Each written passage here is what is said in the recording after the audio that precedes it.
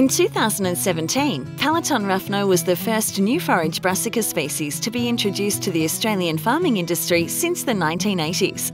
This Raphno brassica, a hybrid between kale and radish, is a real innovation that bridges the summer autumn feed gap in the sheep, beef, and dairy sector.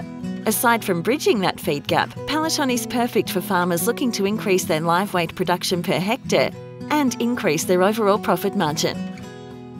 For example, an experience from a South Australian prime lamb farmer reports impressive figures of a $600 a hectare clear profit after the first grazing of Pallaton, with another three or four grazings still to go. Did we mention it tastes amazing? Pallaton has proven itself highly palatable with stock preferring to graze Pallaton compared to forage rape in grazing trials. Sporting a sizable taproot, Pallaton displays impressive drought tolerance and plant persistence under multiple grazings. On top of that, farmers can achieve 4 to 5 grazings plus over a 12 month period under ideal conditions with optimum grazing management. Now let's talk about the bugs.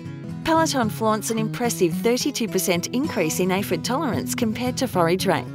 Overall, Pallaton Raphno gives farmers the benefit of high forage yields and strong plant persistence over multiple grazings.